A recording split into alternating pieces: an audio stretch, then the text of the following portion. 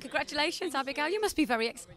Really excited, really, really. I'm kind of digesting it as I talk to everyone along the line. Like I'm just kind of realizing it a little bit more and more that I've just won this. Yeah, it's really exciting.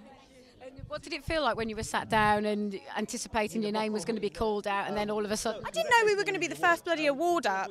I was just like, no, like if I win this, I'm going to be the first person that has to speak. Like after Colin Farrell, who I'm like obsessed with. It's like, no, I don't want to win it because it means I'm going to have to talk to him. I just, I can't look him in the eyes. And then, I, yeah, no, that was pretty cool. What's it? What does it? What, having this award now, what, do you, uh, what are you going to do with it? Where, where's your career taking you next?